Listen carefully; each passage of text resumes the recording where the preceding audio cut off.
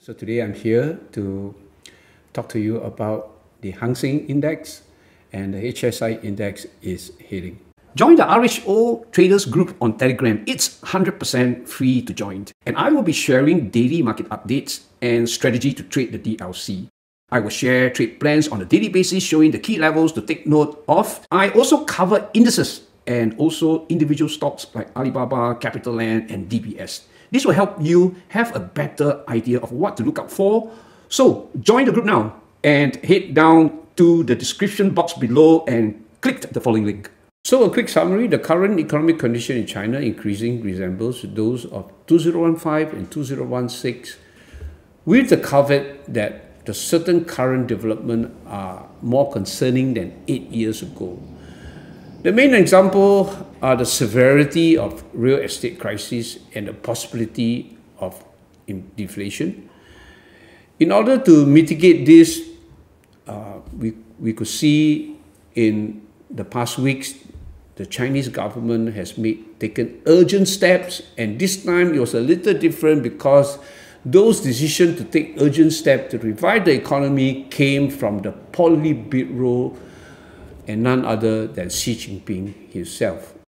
Or just last week, we heard news of the Chinese Politburo, right, announcing major and sustained steps to tackle the Chinese economic downturn. And I hope that uh, with this top-down decision, especially coming from Xi Jinping, it will sustain the market uptrend. All right, so much for the macros. Let's go dive in into the technicals, okay? Uh, so for the technicals, let's start from um, the Hang Seng Index. All right, so as far as the HSI uh, trade plan is concerned, on a macro level, it is still on a downtrend. And you could see that um, the price, the prices hits the top and um, end of the downtrend channel, okay, when uh, the market rebound responding right to the support measure announced by China, uh, and it hits there right at the top, it pulls back and now is supported along all right uh, this uh, uh, trend line here that you could see my cursor is pointing. But what is worth noting is that um, if the downtrend continues, right, on this uh, trade plan here, all right, uh, if it breaks this support here, all right, uh, it we could see, all right, the next support at 18320. So unless we break above this trend line, uh, which is round about uh, 20,000, right, we will not all right, see the 20,890 uh, resistance level, which is the next target. So watch this trend line, all right, 20,000.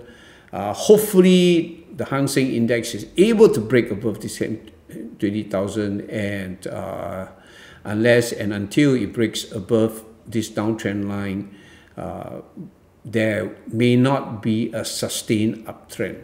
Okay, so it has hit the target and it is currently retracing and that is why the last uh, two days I have been uh, telling on my chat group, on my Telegram chat group, uh, for the participants on the uh, on the chat group to be more bearish than bullish. So that's how I trade on the Hang Seng Index. I have a trade plan, I have a resistance, uh, target, I have a support target, and uh, when it when it comes to the resistance, it doesn't breaks above. I will be looking for a short DLC, all right, uh, to trade, and um, and I'll look for my support level on my trade plan. And when it comes to the support level and it starts to rebound, I will look for uh, a long DLC to be to trade.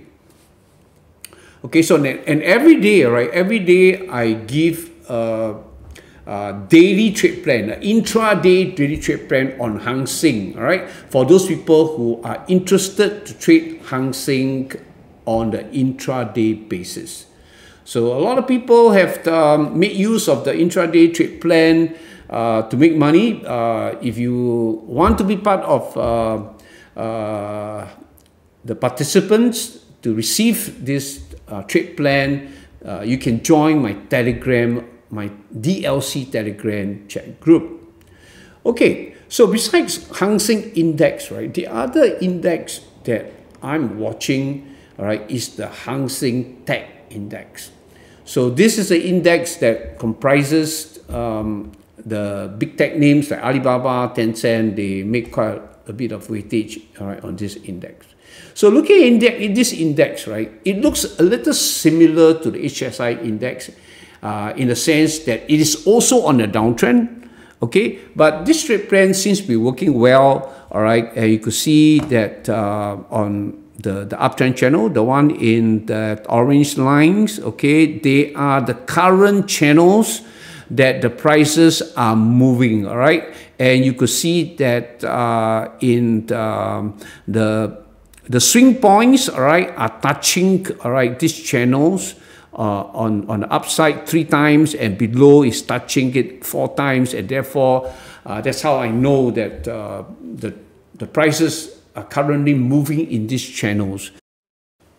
So today the Hang Seng Tech Index closed at 4455 and it, it doesn't hold here for too long. It keep coming down it will go to my next target at 4170 on the trade plan.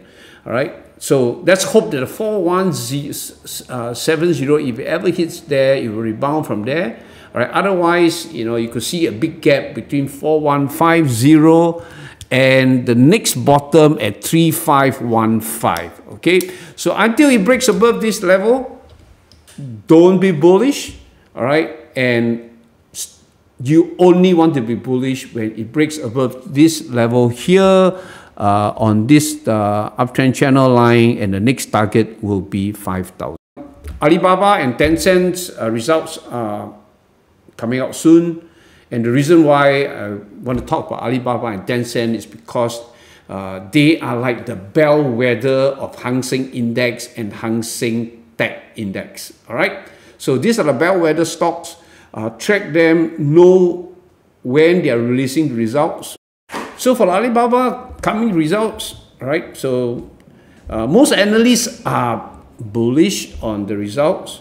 Uh, and uh, the reason why they believe there will be an upturn in their businesses is because of um, an expanding merchant base and in the C 2Q23, all right, uh, Alibaba is projected to report a 2% top line growth and a 21.5% non IFRS net income increase, outperforming consensus expectation.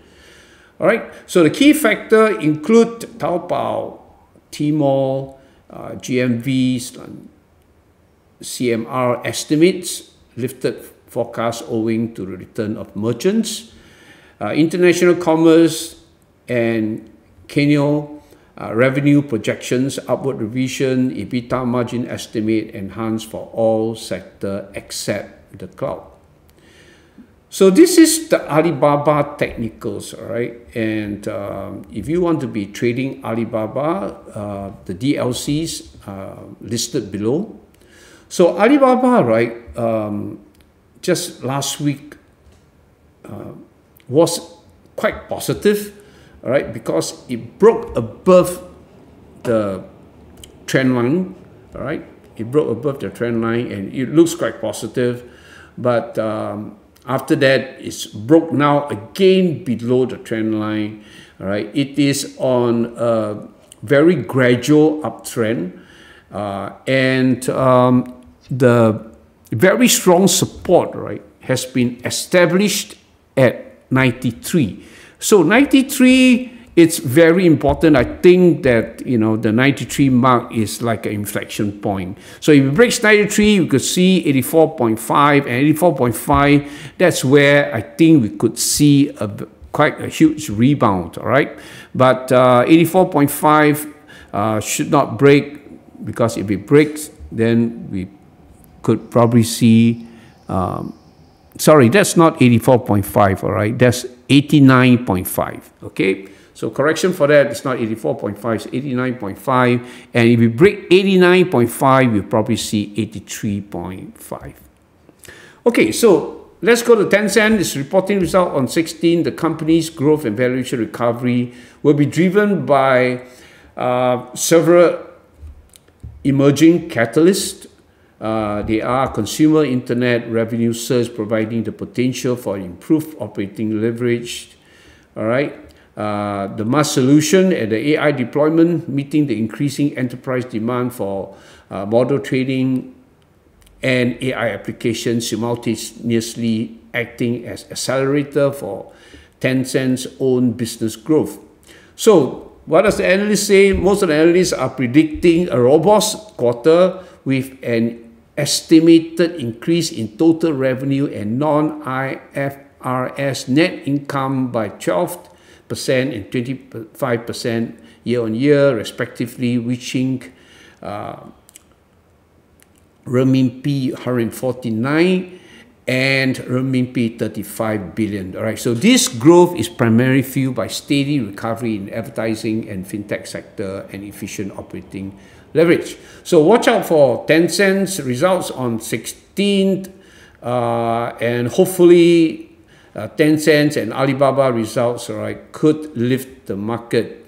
So what about on the technical side? So on the technical side, um, the Tencent's you know price recovery seems a little bit weaker than Alibaba and weaker than um, the HSI. All right, so you could see on the orange line, it is on a downtrend still, and until it breaks that downtrend line, all right, we could see uh, our next target at 376. All right, so currently it's trading at 350, and uh, if it breaks 3, 350, it could go to 376. Uh, and I suspect the results is good. So if you want to be taking advantage of um, the uh, price movement in Tencent, all right, uh, you could refer to the DLC below. So down there, I've listed two uh, DLC, one short and one long DLC. You can use them. Okay, and so this is um, the end of my uh, presentation on uh, Chinese um, economy and the Hang Seng Index and HSI uh, Tech Index.